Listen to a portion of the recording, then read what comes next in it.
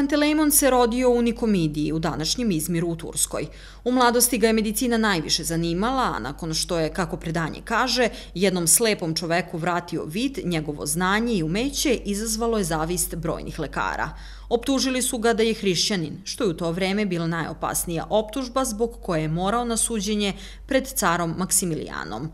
Ubijen je jula 304. godine pod drvetom masline. Mošti ovog sveca čuvaju se na Svetoj gori. Veruje se da imaju isceliteljske moći, baš kao i ikone sa likom Svetog Pantelejmona. Na dan zaštitnika medicine i farmacije veruje se da je dobro krenuti na put, jer je Pantelejmon bio veliki putnik. Njegove mošti su čudotvorne, a ime mu se pominje u molitvama pri vodoosvećenju i jeloosvećenju. Sveti Pantelejmon je zaštitnik hrama ženskog manastira u Lepčincu, koji danas obeležava svoju slavu. Veruje se i da je danas dobro započeti neki posao.